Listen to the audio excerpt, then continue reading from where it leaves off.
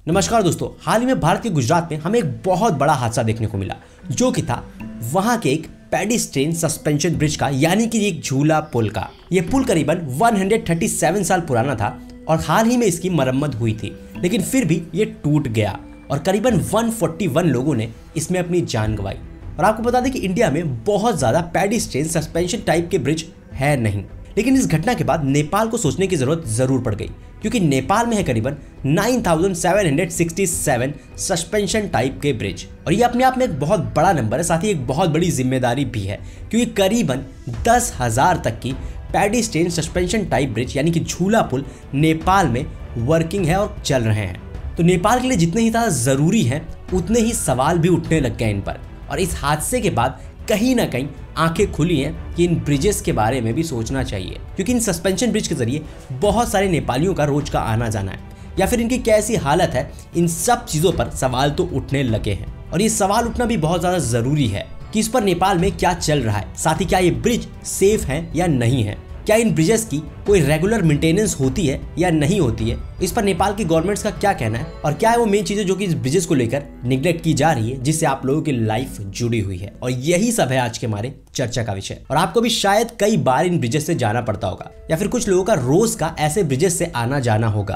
तो comment box में comment करके बताइए कि क्या आप कभी इन ब्रिजेस पर गए हैं? और क्या आपको ये सेफ़ लगते हैं? क्योंकि सेफ्टी के लिए सवाल तो पूछे जाने चाहिए। दोस्तों सस्पेंशन ब्रिज नाम से ही पता चलता है कि ये ऐसे टाइप के ब्रिज होते हैं जो कि दो जगह से लटके होते हैं। यानी कि एक झूले की तरह। और इसीलिए इनका नाम झूला पुल होता है। ये डिज़ाइन के तौर पर कई तरह के होते हैं। डी शेप के होते हैं एन शेप के होते हैं। साथ ही साथ सिंगल स्पैन होते हैं या फिर मल्टी स्पैन होते हैं। Single span pedestrian suspension type के ब्रिज ऐसे ब्रिज होते हैं जो कि दो जगह से जुड़े होते हैं। और वो झूले की तरह की जो ब्रिज होगी, वो वहाँ पर बनी होगी। Multi span pedestrian suspension type के ब्रिज, वो ब्रिज होते हैं, जिनमें बहुत सारे सपोर्ट्स लगे होते हैं। यानी कि उनमें दो से ज़्यादा पिलर्स होंगे, जो कि ब्रिज को और ज़्यादा लंबा करते हैं। ये ज़्यादातर आपको लंबे ब्रिजेस में multi span, suspension bridge type के ब्रिज होते हैं। और नेपाल में ज़्यादातर सिंगल स्पेन, डी स्ट्रक्चर वाले जो ब्रिज हैं, वो बने हुए हैं।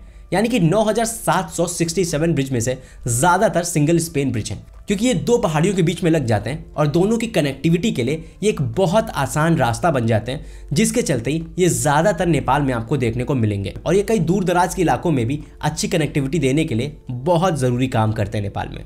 तो इन ब्रिजेस की नेपाल में इंपॉर्टेंस तो बहुत ज़्यादा है, लेकिन क्या इनकी मेंटेनेंस और क्या इनका रख रखाव वैसे किया जा रहा है? जैसे इनको करना चाहिए। और क्या ये अभी सेफ़ है या नहीं? दोस्तों, इसका जवाब देते हैं नेपाल के गवर्नमेंट ऑफिसर जो कि हैं परवेश रेग्मी, जो कि इंजीनियर है सस्पेंशन ब्रिज डिपार्टमेंट के under ministry of urban development और उनका ये कहना है कि भारत में जैसा हादसा हमको देखने को मिला है, वैसा नेपाल में देखने को नहीं मिलेगा। उन्होंने कहा कि ऐसे ब्रिजेस में हादसे तभी होते हैं जब उनकी एक रेगुलर मेंटेनेंस नहीं होती है। लेकिन क्या आपको लगता है कि जो गवर्नमेंट ऑफिसर रेग्मी ने कहा, वो हमेशा किया ही जाता है? और ये सरकारी डिपार्टमेंट इतने ज़्यादा मुस्तैद है ऐसे ब्रिजेस को लेकर। कमेंट बॉक्स में कमेंट करके ज़रूर बताइएगा। दोस्तों, मैं आपको बता दूँ कि नेपाल के जो ज़्यादातर सस्पेंशन ब्रिज है, यानी कि झूला पुल है, ये करीबन 1960s के और इनका लाइफ स्पैन यानी कि ये कब तक चलेंगे, वो है 50 साल तक। और आप लोग देख सकते हैं कि 1960 में बने हुए ब्रिजेस अभी तक की पुराने हो चुके हैं और इनकी मेंटेनेंस साथ ही साथ इनके रेगुलर चेकअप बहुत ज़्यादा ज़रूरी भी हो जाते हैं। और इन्हीं चीज़ों पर मैं आप लोग का ध्यान खींचना चाहता हूँ,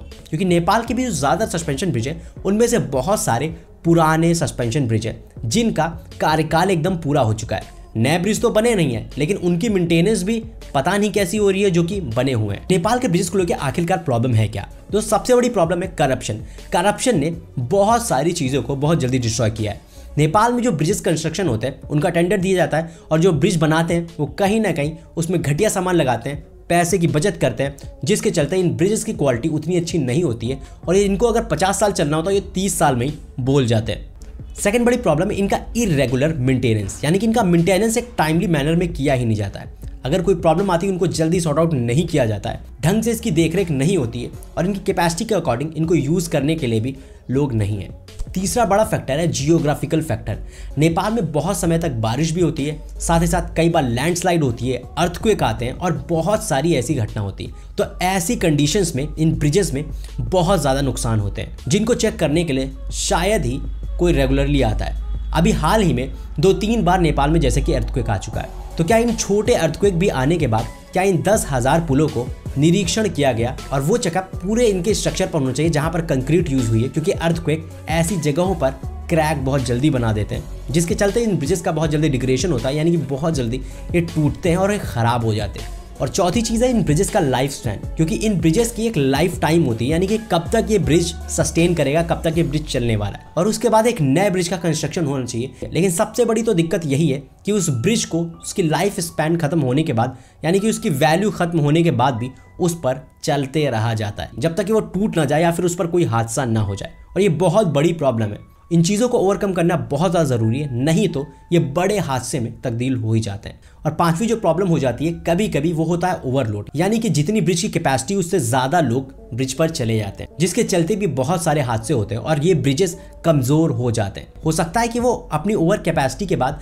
ना टूटे, लेकिन उसके बाद वो कमज़ोर ज़रूर हो जाते हैं और उनके ऊपर इतना ज़्यादा स्ट्रेस पड़ता है जिसको वो झेलने के लिए नहीं बने होते। तो इन चीज़ों को भी ध्यान रखने की ज़रूरत बहुत ज़्यादा और ये एक प्रॉब्लम नेपाल के ब्रिजेस में देखने को मिली है। और इन सभी प्रॉब्लम्स को गवर्नमेंट ऑफिसर्स नज़रअंदाज करते हैं और इन सब चीज़ों को कभी देखते नहीं हैं, जिसके चलते ही ऐसे सस्पेंशन ब्रिज यानी कि झूला पुल बहुत जल्दी डिग्रेड होते हैं और टूटने की नौबत आ जाती है और बहुत बार इनसे हादसे हो भी जाते हैं। तो गवर्नमेंट तक इन चीज़ों को पहुंचाना ज़रूरी है कि प्लीज़ इन चीज़ों का चेकअप करो क्योंकि हमारी लाइफ से जुड़ी है और आप लोग सिर्फ़ बैठे नहीं रह सकते हो, क्योंकि एक लाइफ की बात है और सिर्फ़ हादसे का ही इंतज़ार हम नहीं कर सकते। हमको पहले से मेजर्स लेने चाहिए कि ये ब्रिजेस में कोई हादसा ना हो। तो प्लीज़ इस वीडियो को बहुत सारे लोगों तक शेयर कीजिए ताकि आपकी ही सेफ्टी हो सके और ये वीडियो गवर्नमेंट ऑफिसर्स तक ज़रूर पहुँचे। दोस्तों, नेपाल के लिए झूला पुल बहुत ज़्यादा इंपॉर्टेंस रखते हैं, क्योंकि नेपाल के कई रूरल और अर्बन पार्ट्स को ये जोड़ते हैं, जिसके चलते बहुत लोगों की रोजी रोटी चलती है, बहुत लोगों की इकोनॉमी चलती है, बहुत लोगों की लाइफ चलती है। तो इन ब्रिजेस का ठीक रहना भी बहुत ज़्यादा इंपॉर्टेंट है, जिससे आने वाले समय में ऐसे ब्रिजेस में कोई हादसा देखने को ना मिले, जो कि हमें भारत में देखने को मिला है। तो ये आज का वीडियो एक आई ओपनर वीडियो था, जो कि ऐसे हादसों से हमें बचा सकता है। साथ साथ ऐसे ब्रिजेस की रेगुलर मेंटेनेंस को लेकर एक आवाज़ है। तो आपको कैसी लगी वीडियो कैसी लगी इन्फॉर्मेशन प्लीज़ कमेंट बॉक्स में कमेंट करके ज़रूर कीजिएगा साथ ही वीडियो को लाइक ज़रूर कर लीजिएगा और इसको अपने फ्रेंड्स और फैमिली तक शेयर ज़रूर कीजिएगा। धन्यवाद एन आई न्यूज़